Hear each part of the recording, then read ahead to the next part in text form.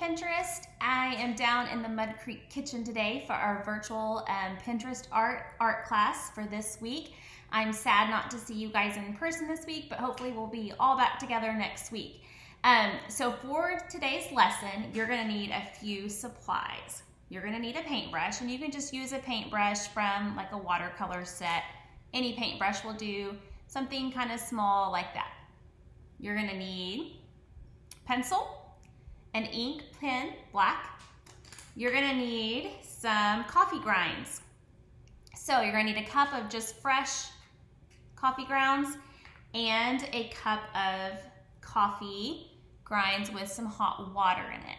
And this is what we're gonna use for our paint today. So if you don't have coffee at your house, maybe check with the neighbors, see if they have some coffee and grinds that you can borrow. I'm gonna tilt this down so you guys can see my paper. Okay, so our inspiration for this project is tree bark. Mine kind of also look a little bit like a tortoise shell, so you could kind of think about either one as your inspiration. But you're gonna need a piece of blank um, white computer paper, and you're gonna start with pencil, and you wanna draw really lightly because this first line you're gonna erase. So you're just gonna start in the center of your paper and draw a really light spiral across your paper. You guys can see. Okay, this line's eventually gonna be erased, so it doesn't need to be very dark. But what you're gonna do from here, starting in the middle, you're going to draw a squiggly line on the outside edge of your spiral.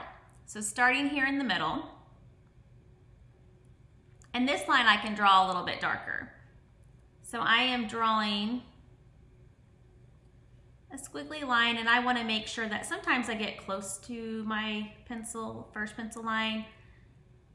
Sometimes I have small squiggles, sometimes I have big squiggles, sometimes I get close to the line, sometimes I go out. You want a lot of nice variety with this. Remember our inspiration is tree bark. So if you were to go outside and look at the bark on a tree, you would see a lot of variety. Sometimes your squiggles can be sharp, sometimes they're smooth. So you can change it up a little bit. If you run out of uh, space on your paper, you can just run right off the edge, just like I did. So I'm gonna pick back up over here. Ran off my edge again, and back over here. Okay, so once you've done that side, then you're gonna come back to where you started and continue your squiggles on the opposite side of the first pencil line that you drew. Remember to make sure that your lines come close. Sometimes they come nice and far out. There can be smooth squiggles and sharp ones. I'm gonna do a couple little sharp ones right here. And some smooth ones.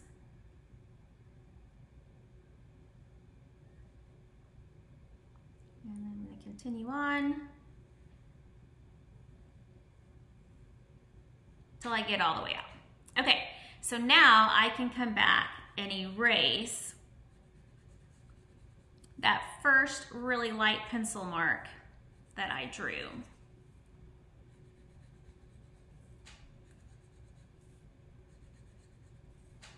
Round and round. Don't get dizzy while you're doing it.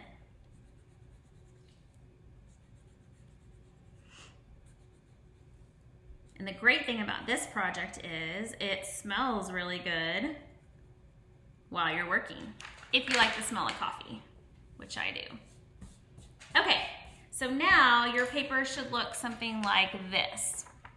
And so you can kind of start to see a little bit of a design that you would see on the side of a tree with the nice squiggle lines.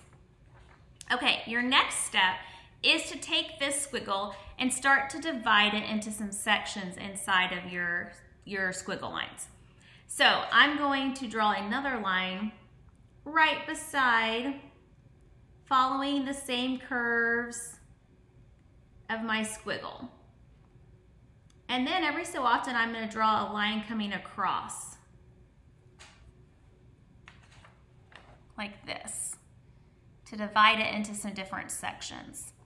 Okay, and then I'm gonna continue on mimicking the curve of my outside and then every once in a while coming across and matching back up. And I'm gonna repeat that, come across. This one I'm gonna make it a nice long section all the way to there. And matching back up. So you can see, I'm now dividing it into smaller sections. And I'm gonna continue on until I get it divided out all the way to my outside of my spiral, okay? So it will look, here's one that I've done a little bit more on. Some of your spirals may be nice and wide like this. You can also do a tight spiral like this one, where I've got more on it. Just make sure as you're doing your spiral, your first one, that you leave enough space between your lines that you can come in and add in your sections. Okay, so once you have your sections all created, your next step is to take your black pen and very carefully trace back over your pencil lines. And any black pen will do fine for this as long as it's not an erasable pen. You can also use an ultra fine point Sharpie if you have one of those available at home. That works too. You just have to be careful not to smear your ink as you go. So watch your hands, the palm of your hands as you work that you don't smear on top of it. Try to stay right on top of your pencil lines if possible. But if you go outside of them a little bit, that's okay. You can come back later and erase any pencil lines that are showing.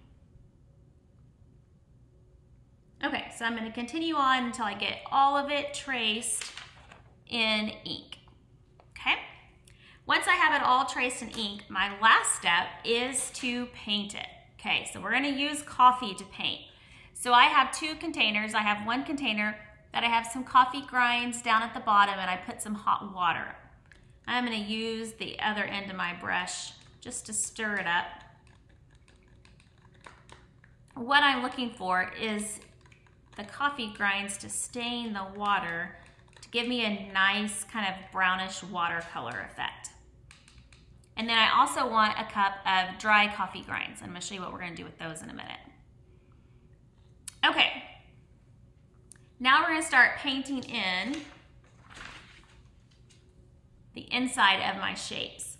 So dipping into my brown coffee watercolor, I'm going to paint inside, going slow so that I can try to stay inside those lines. I wanna try to keep this outside line white. So I'm not gonna get watercolor on that. Okay, I like to kind of paint like two sections in at a time. And you can see right now I'm just getting like a nice light brown that we're fixing to make that a little bit more intense. If your pen bleeds a little bit with the white, that's okay. That kind of helps create a neat effect as well.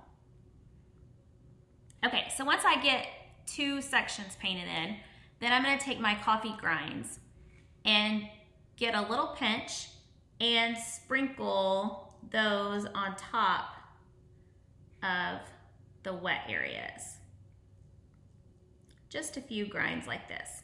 And what's gonna happen is when it hits that water, it's gonna react and start to leave a more intense color in that section. Okay, and I'm just gonna leave those right there and go ahead and start painting my next two sections. You wanna work two sections at a time. so that your water is still wet so that it can react with the coffee grinds. If for some reason your sections are drying before you get to it, if you have a really big section, you can kind of work in smaller sections if needed. You just want to make sure that it stays wet. All right.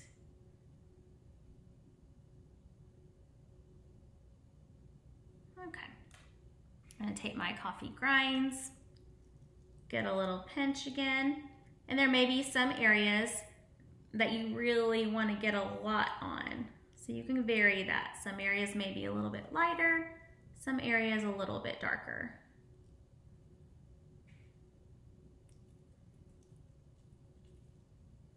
Okay, and you're gonna continue this until you get all the way to the outside of your spiral with all of your little sections painted in, okay?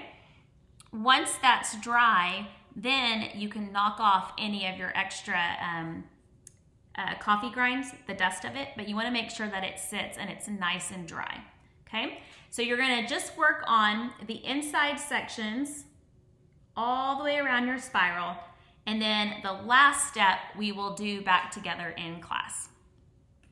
Let me know if you have any questions, and I can't wait to see all of the neat pictures and designs that you guys create.